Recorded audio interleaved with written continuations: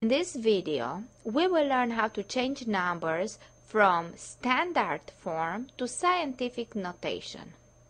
Let's start with this large number, 2,673,000. The scientific notation has three important parts. The first factor is formed by all digits that are not zero in the initial number. In this case, just copy 2, 6, 7, and 3. Then place a decimal point after the first digit.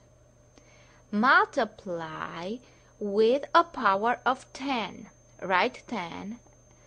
To find out what is the exponent of 10, we should count all the digits after 2.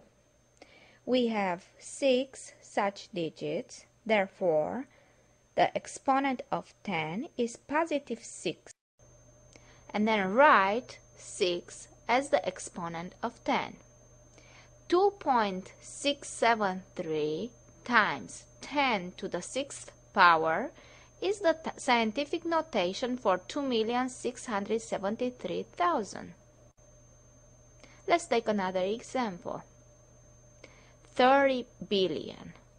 Copy all digits that are not zero, in this case just 3, and then multiply by a power of 10. To determine which power of 10, count all digits after the first non-zero number. In this case, we have 10 digits after 3, and that is our scientific notation. 3 times 10 to the 10th power.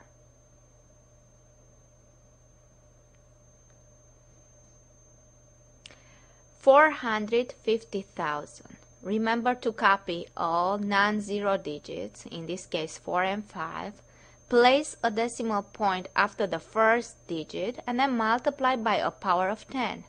To find the exponent for that power, count how many digits you have after the first digit.